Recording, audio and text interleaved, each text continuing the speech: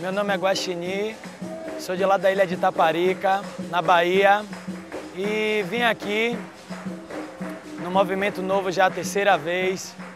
Venho super feliz em participar desse movimento, dessa nova geração da capoeira.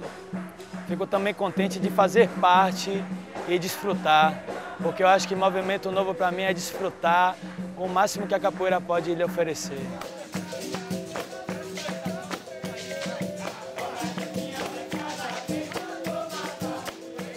Cara, dentro de uma academia é importante você ter a hierarquia, é importante você ter uniforme, mas quando ela se manifesta na rua dessa forma que a gente está podendo ver aqui, eu acho que ela é livre. Ela vai de forma de que seu mestre lhe ensinou, que você viveu, e aí você vai tentando acertar e você vai vadiar.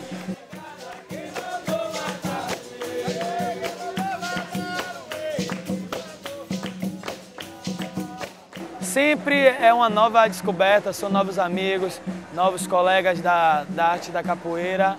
E aí conheci uma galera aí de São Paulo, conheci uma galera de Minas, teve um brother também que veio aí da Bahia comigo, massa, e tá legal.